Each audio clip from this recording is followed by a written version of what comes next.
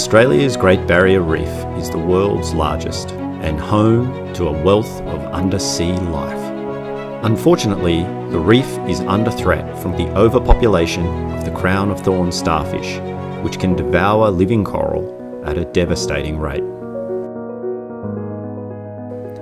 To give the reef time to recover, Australia's National Science Agency, the CSIRO, and Google are scaling up from traditional surveying methods like manta towing to a machine learning platform to identify and count the starfish. We want your help to build a TensorFlow model to accurately detect starfish breakouts in time series images.